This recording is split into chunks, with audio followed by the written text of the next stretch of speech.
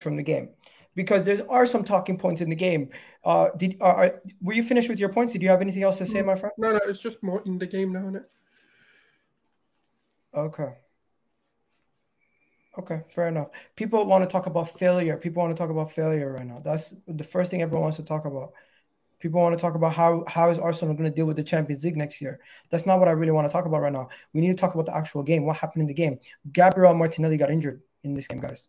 Gabriel Martinelli got injured in this game in a game where he was having a decent couple minutes. He seems like the only outlet in, these games sometimes. I don't know about how you've seen it, but Gabriel Martinelli's injury is not good, ladies and gentlemen. Um, this is what happened to his ankle. Gabriel Martinelli got an ankle injury from Caicedo tackling him.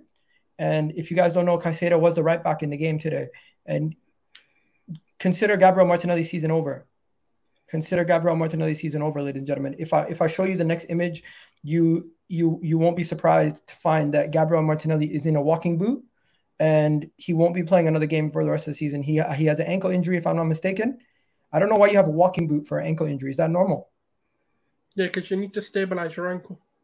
Okay, so yeah, he he has a walking he has a walking boot, um, and he's going to be done for the season. Gabriel Martinelli, consider his injury. Um, he, he's had a fantastic season. Honestly, love the guy. He's been one of the guys who's been consistently showing up in this season. But Gabriel Martinelli's season is well and truly over, ladies and gentlemen. It's sad to hear, but the guy deserves our respect. He's one guy who, even when we've been poor against Liverpool, poor against West Ham, poor against these guys, he's one guy who showed up.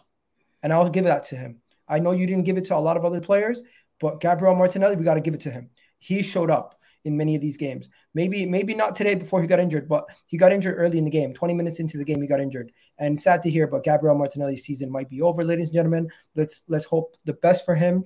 After the game, you could see that the everyone was everyone's gutted for the guy, and I'm gutted for the guy himself, man. Gabriel Martinelli is one of the soldiers this season. He has definitely been a soldier, John. Um, genuine season.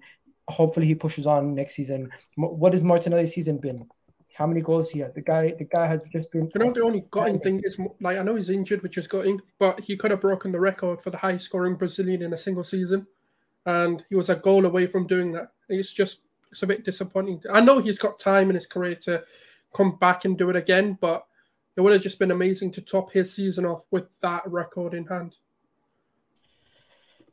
It's just disappointing, man. Gabriel Martinelli, 15 goals, five assists in the Premier League this season.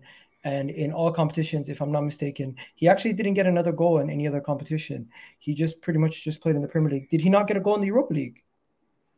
I don't think he did. I don't think no, he, think he played. So, yeah. So 15 goals, five assists in all competitions this season. Next season, definitely going to have to push on.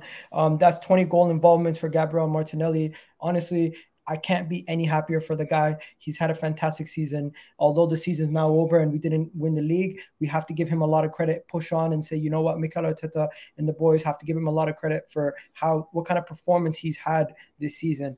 Um, title race over. Yeah, we know title race is over. We know the season's over. We know. We know. But yo, people, do me a favor. We got 60 people in the chat right now. Do me a favor. Hit that goddamn like button. It helps the channel out a lot. Support the, support the channel. Big up everybody who's watching right now. Let me know what you guys thought about the game. I'll try to get to your comments. If anyone can uh, can afford to do any super chats, that also helps the channel out massively. Any super chats or anything else would help us massively. So please do do that also. But yeah, Gunnar Souls, man, just take it away. Do you have anything else to? Do you think Martinelli should have been sent off prior to that? because he did he did barge into Mitoma while he was in the air, and people were saying that should have been also a foul uh, from Martinelli. So, is there a case that Martinelli should have not even been on the pitch before he got injured?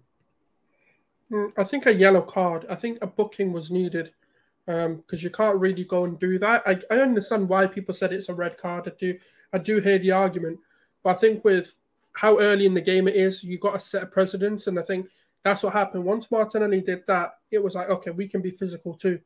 And the referee just, and then when Caicedo did do the initial tackle, which eventually led to like him actually coming off, it was the game was done because the ref lost all control, and that's when they started kicking about, kicking more players, and turning it into a physical battle. This is where referees need to manage the games better because if they had booked Martinelli at this moment, then those things probably don't happen because the referee's stamped his authority and gone, none of that shit's going to fly today. So that's Fair just enough. how I feel.